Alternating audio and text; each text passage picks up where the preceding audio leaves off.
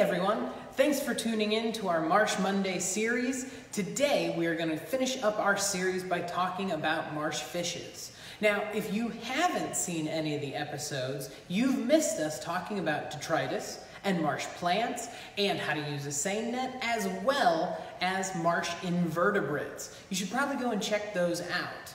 But if you want to learn more about the marsh fishes, thank you for joining us and let's head to the marsh. Now we're going to talk about fish that call the marsh their home. Remember, the marsh is a nursery ground, so these fish are juveniles.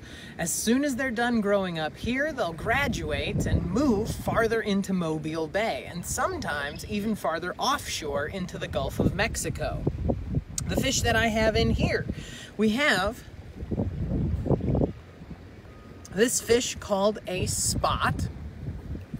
It is a bottom feeding fish. Its mouth opens up, points down. It has a flat base on its tail, and I'm gonna put it back in the water because we don't want them to be too uncomfortable, but we do want people to be able to learn about them. Uh, spot are very common here in the bay. Uh, a lot of people go out, they catch them, they're used as bait.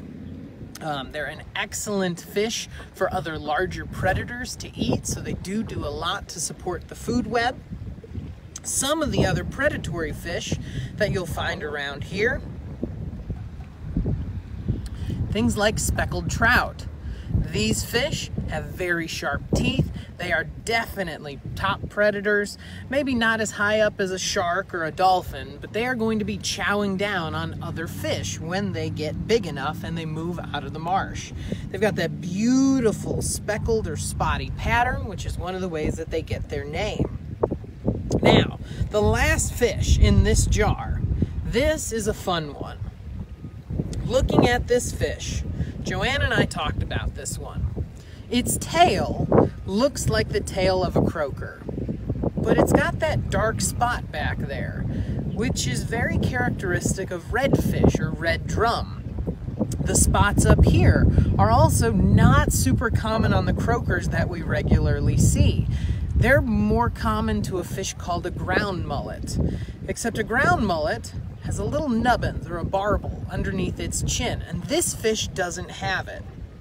So Joanne and I have all made our guesses. Joanne thought it could potentially be a weird looking croaker. I thought because of the spot on the tail, it could potentially be a redfish.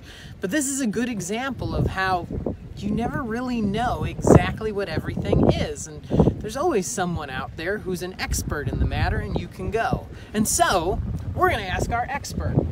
I think that's a red drum. And our expert fish uh, person in the department um, has identified it just as what you just heard. So that's what that fish is. Very cool, very fun stuff to find.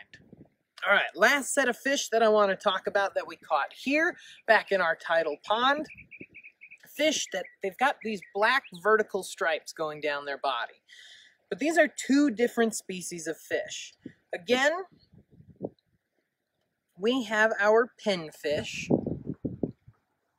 which sometimes has black vertical bars, but a lot of times has horizontal blue and gold stripes, which is one of the ways you can tell them uh, apart from other fish around here.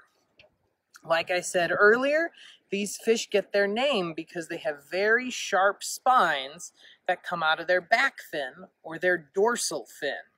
So these fish are not fun to grab like this and get those dorsal spines into your hand. The other fish that we caught, this one is a full-time marsh professional. We find them almost every time we come to the marsh. They're here in the winter, spring, summer, fall, high tide, low tide. This is the long nose. That was, and this is the long nose killifish also has those black vertical bars go up and down the sides. Now these fish are very good at dealing with living in an intertidal habitat. Being intertidal means sometimes the tide is high, the marsh is very, very flooded, very, very wet. Other times that tide goes down. Low tide is the lowest the water level will be for the entire day. And that can be very, very low.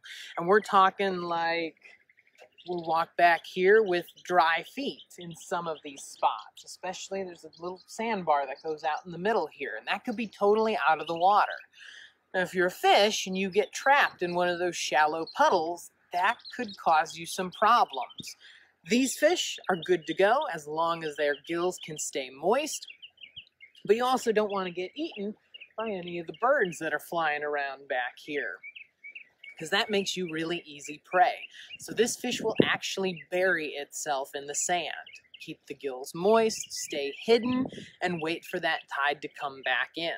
So they are full-time marsh professionals. Very cool fish. Thanks for joining us for our Marsh Monday series. We've had a lot of fun, but it's time for us to change gears. Tune in next week as we begin our exploration of the other habitats here on Dauphin Island.